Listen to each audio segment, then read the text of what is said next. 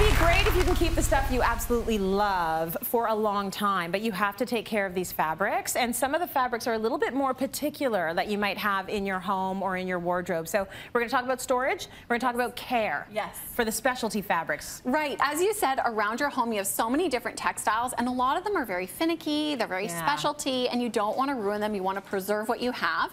Whether it's between seasons or maybe for a special event, you're often putting things away, pulling them out. Mm -hmm. So what what you want to do before you pack everything up is, first of all, mend it. If there's a little hole or something, uh, take that, fix that, wash it, and then put it away. So right. I'm going to give you some good washing tips for everything around your home. Including that pillow. That looks like a hard one. You know what? This is not hard, actually. So this is a cowhide pillow, yeah. and cowhide actually repels dirt. Okay. It doesn't stay on there, so as long as the dirt is dry, you can just brush it off using a dry brush in the direction of the grain. Mm -hmm. And then mm-hmm. whenever you are buying pillows, make sure you're looking for ones where the cover comes off yes. because that's key, Lifesaver. Right?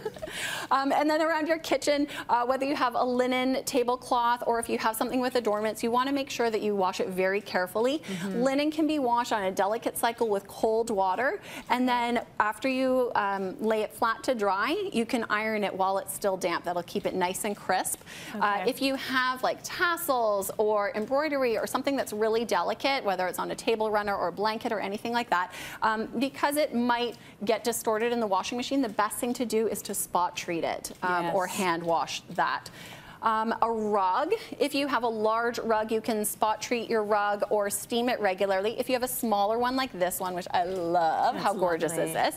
Um, check the tag to see if it can go in the washing machine. Okay. And if you have a very small drum at home, you can take it to the laundromat. That is really key with anything around your home. Always check the tag yes. because it will tell you how you should wash it. And when in doubt, use less heat, less agitation, and a more mild detergent. That'll keep your textiles okay. lasting longer. All right. So a Blankets? beautiful wool blanket, yes, yeah. that can go in the washing machine as long as it's on a gentle cycle. Yeah. And you want to look for a, um, a detergent that is specifically for wool or silk. It won't have proteins in it that would break down those natural ah. fibers.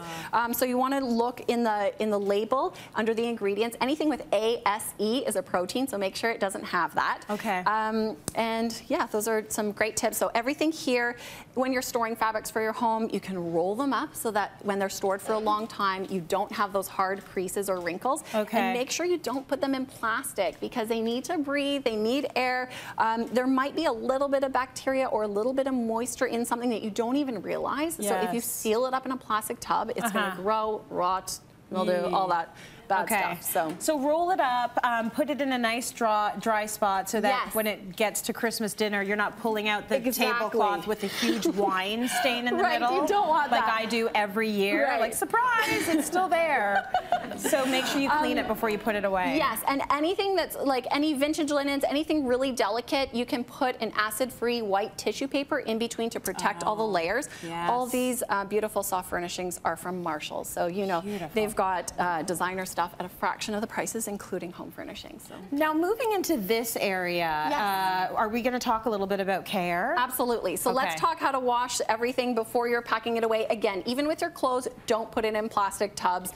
Um, with a down jacket, mm -hmm. you mm-hmm. can wash this on a gentle cycle with cold water. When yep. you throw it in the dryer, add some dryer balls. So what these, do those do? These ones are wool. They kind of add air and space in between all of your layers of fabric, so it helps them to dry faster. Okay. With the um, with the down, it helps to pound it out so it stays yes. nice and fluffy. And then if you buy the wool ones, it has a little bit of lanolin in it, so it does give a little bit of anti-static. So oh, they're okay. extra awesome. I have six of these at home that wash with everything. Good. Um, what do you do with these? Like leather. faux leather or leather? Leather, you want to let it dry. If it gets wet, let it dry naturally. Always protect it beforehand. You can use a spot cleaner, but if you have something really, uh, really dirty, take it to a dry cleaner that specializes in yes. leather leather care. Yeah. Um, blazers or men's jackets in the front, whether yeah. it's a suit or, or even a woman's blazer, the more you dry clean it, the more that will wear down the fibers. So it's best okay. to steam it. That will kill bacteria, kill odors, and it will keep your garments lasting longer.